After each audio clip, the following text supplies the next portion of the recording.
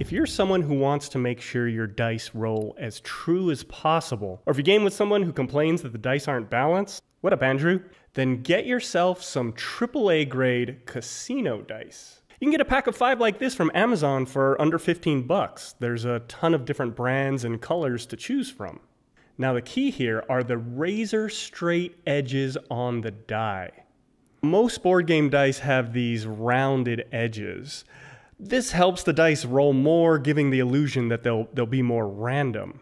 The problem here is they take what started as probably a balanced cube. Then they put the dice in a tumbler or maybe a machine sander to knock the burrs off the edges and, and grind the corners down.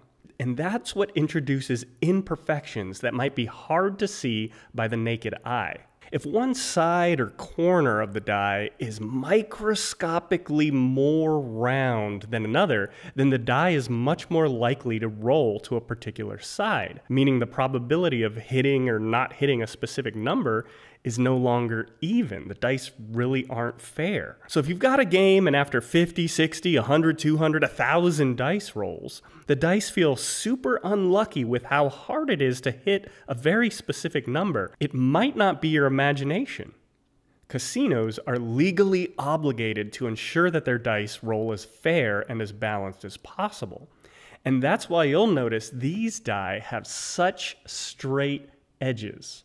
The dice themselves are nice and chunky. They're a bit larger than your normal 16 millimeter die with a good weight to them, yet they also still fit comfortably in a dice tower. Because of the straight edges, they're also less likely to go rolling off the table. So another great reason to get a set if you have those friends who can't seem to keep their dice rolls from going everywhere. I like to keep a set ready in the dice tray as a substitution for anything that needs d6s, or even if all we're doing is rolling to see who goes first. Thanks for watching. I hope this helps you consider getting a set of AAA grade casino dice for yourself and eliminating any concerns of dice not being fair. By the way, these make a great gift to any of the gamers you may know. And with that, I look forward to seeing you in the next video here on Board Game Casual.